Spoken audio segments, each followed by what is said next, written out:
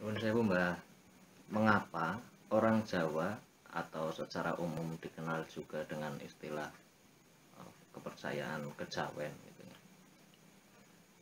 Itu tidak ada tempat ibadah seperti halnya agama itu kan ada tempat ibadah.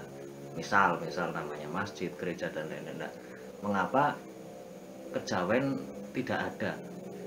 Apakah tidak ada atau sesungguhnya ada? Lah itu kinten-kinten pripun?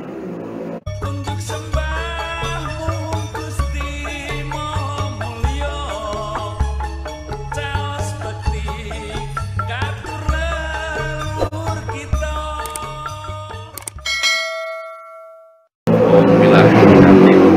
hajat-hajate Nusantara tapi-tapi uluk salamunya. Ya, itu sudah dibahas dalam sebuah hitung pucung kalau nggak salah. Yang intinya begitu, begini. Ngilmu iku kelakone kanthi laku.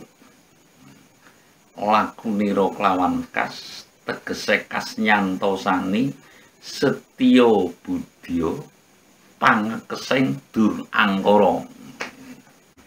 Kalau disinkronkan lagi dalam sebuah kitab suci juga, bumi ini adalah tempat ibadah. Ya, sayang sayangku. Alangkah lucunya apabila maaf nah ini dalam paham loh ya ibaratnya dalam kawul Jawa. Bumi ini dipetak hanya sedikit merupakan untuk tempat ibadat gitu loh alangkah pelitnya si manusia itu dan kelirunya kalau dalam kabur kejawen ini ya itu melalui proses wakaf nanti kadang keturunannya menggugat ini loh. Ini yang nah, karena kabur Jawa ini telah memahami telah eh, ibaratnya mengantisipasi lah menjaga hal-hal yang demikian. Sehingga pedomannya adalah ngilmu iku kelakone kanthi laku. Ngilmu iku kelakone kanthi laku. Jadi ya namanya beribadah itu dalam perjalanan gitu. Bisa dipahami nggak? Ini. Ibadah ya dalam perjalanan ini selamanya itu ibadah. Selagi masih ada nafas nah, ibaratnya masih masih ada nafas masih ada gerak ini ibadah. Laku lawan kas. Nah, kas ini kas tegese kas nyantosani. Tegese kas nyantosani menguatkan iman. Setyo budyo pangekeseng tur angkoro. Nah, menguatkan ngekes ke angkara murkaan. Ini loh. Jadi kita sambil bertamu di rumah orang sambil apa ini tetap ini. Ngilmu iku kelakone kanti laku. Bukan ngilmu iku kelakone kanti uh, tempat ibadah. Ini ini sebuah kawruh ya bukan berarti saya saya menyalahkan. Nggak ada konsep uh, kawruh adilugung itu menyalahkan orang lain tapi ini sebuah prinsip agar apa kita itu punya jati diri sehingga memang pertanyaan itu sangat menarik agar bisa diwedar nah kalau sudah merupakan tempat ibadah terus anu kan akhirnya di situ ada ya akhirnya taunya uh, salah benar, baik buruk, nah, tidak ada cerita kebajikan. Tapi kalau dalam itu kan ilmu iku kelakone kanthi laku beribadat sambil berjalan. Nah, bumi ini adalah tempat untuk ibadat. Jadi kalau apabila sebuah di peta, sebenarnya kalau dalam kejawen ya, pertanyaannya adalah kejawen kalau hati lubung ini. Jadi sebuah tem itu kan tempat ibadat itu sesungguhnya adalah tempat untuk mengheningkan cipta ini loh. Lah itu sebenarnya ada tempat ibadatnya, tapi namanya sanggar. Sanggar ini adalah sanggar pamujan.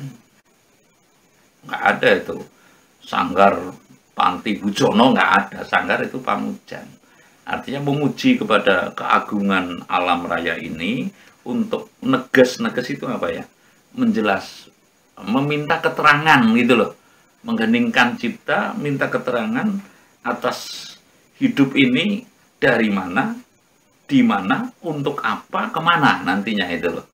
Jadi ya memang nggak ada tempat ibadah, tapi ada sesungguhnya ada sanggar. Nah sanggar biasanya di tiap-tiap rumah itu di anu di ruang yang paling tengah.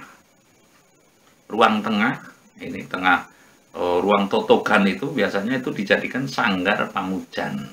Nah ini yang yang perlu dipahami bahwasanya bukan berarti tidak ada tempat ibadat, ya tapi bumi ini memang untuk ibadat. Kalaupun itu adalah sanggar pamujan untuk mengeringkan cipta itu loh di tiap-tiap rumah atau itu ya ada tapi untuk menggalang ke bersamaan ayo pada ibadah dalam dalam satu tempat ini. Memang nggak ada karena eh, apa pada prinsipnya manusia kan mestinya harus mengetahui dirinya sendiri gitu loh. Dirinya sendiri terus implementasi mengetahui dirinya sendiri artinya ya kembali lagi kayak yang saya katakan tuh garis titis tulisnya hidup apa patutnya jadi petani apa apa dari segi visualisasinya atau apa ekspresinya. Setiap tiap manusia sebenarnya kan oh itu drijine awaknya meriayeni ibaratnya patutnya jadi itu. Tapi belum tentu juga. Jadi yang jelas ciri wanci kegawa mati gitu loh. Artinya ciri wanci orang biasanya kalau ototnya gede-gede itu patutnya ya bekerja keras gitu. Kalau orang yang ada kulitnya hijau royo-royo, drijinya panjang dan sebagainya. Oh, itu duduk di meja sebagai sekretaris, ibaratnya seperti itu loh. Jadi, itulah kembali lagi mengapa tidak ada tempat ibadat karena bumi ini adalah tempat ibadat. Nah, kalau untuk secara pribadi adalah sanggar pamujan. Itu. Ya, bumi ini adalah tempat ibadat. Jadi, meyakini bahwasanya bumi tempat ibadat itu adalah ngilmu iku kelakone kanthi laku. Jadi ilmu ya ilmu dohir, ilmu batin itu ya harus dilakoni. Sambil berjalan sambil lakoni lah di mana-mana artinya ya ibadat gitu loh. Bisa bisa dimengerti ini. Nah, lakuni rokawan kas menguatkan imannya. Tegese kas nyantosani. Setio budo pangakese bu- bukan budo ya. Bukan Buddha, Budio. Bebudi lah artinya bebudi perbuatan. Setio dalam perbuatan, setio budio pangekes. Nah, setia dalam perbuatan sambil ngekes dur angkara murka ke angkara murkaan dirinya. Jadi kita nggak perlu memandang yang sana bahwasanya berarti tempat ibadat salah nggak saya nggak pernah mengatakan itu artinya ini adalah memang bumi ini tempat ibadat tempat ibadat. Dan yang lebih perlu dipahami lagi, dalam kawruh hadiluhung ini, kawruh kejawen ini, telah meyakini satu-satunya jalan, kembali lagi sering saya akan sering saya katakan, orang kejawen ini, kawruh kejawen ini, ya kawruh hadiluhung ini, harus dipahami satu-satunya jalan untuk kembali kepadanya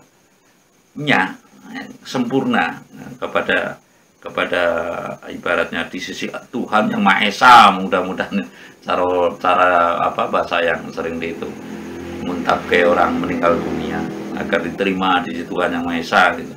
Satu-satunya jalan bisa kembali kepadanya ya ketika kita hidup di dunia ini dan bisa menuntaskan garis titis tulisnya hidup ini. Nah, saya rasa saya mohon maaf kepada seluruh yang memiliki tempat ibadat bukan saya ini mencelanya saya itu ngudari kawruh. Kawruh itu kan karsaning weruh gitu artinya biar kita mengetahui gitu kalau kalau apa keroto bahasanya. Jadi tidaklah kita mencela atau mengatakan bahwa saya itu keliru. Bumi adalah tempat ibadat sehingga kita uh, ngilmu iku kelakone kanthi laku gitu. Saya rasa demikian. Terima kasih